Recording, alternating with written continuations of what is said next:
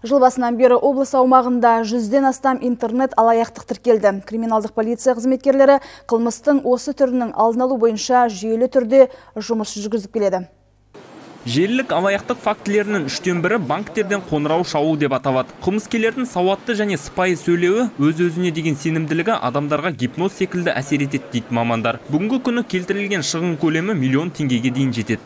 Если вам звонят, представляя сотрудниками службы безопасности банка, говорят, что на вас пытаются оформить кредит, говорят, скачайте какие-то программы, не верьте никому, прекратите разговор, позвоните просто на горячую службу безопасности вашего банка, там горячая линия есть, и уже там все вопросы выясняются. Бұл акцияны тәртіп сақшылары қалалық прокуратураның қызметкерлерімен бірлесіп өткізуде. Ірі сауда орталықтарының бірінде сатушылар мен келушілерге жадынамалар мен брошюралар таратылды. Интернет алаяқтар қолданатын негізгі қылмыстық схемалар туралы мағлұмат берілді.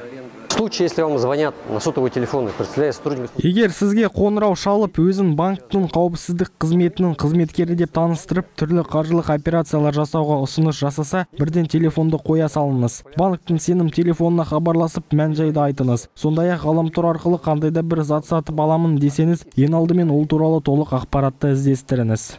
Тәртіп сақшылары интернет алаяқтықтың алдын алу үшін әлеуметтік желілерде және қоғамдық көліктерде бейнероликтар таратпақ. Әміре Ақбатай полиция департаменті баспасөз қызметінің көмегімен әзірленді.